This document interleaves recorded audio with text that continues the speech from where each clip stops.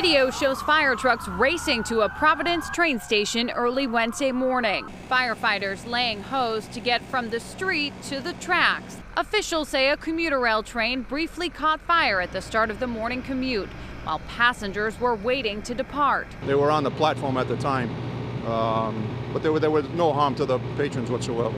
Keolis says the fire started in an exhaust stack in the locomotive of a Providence commuter rail line train, saying in a statement, quote, the fire was contained to a small engine and extinguished on its own.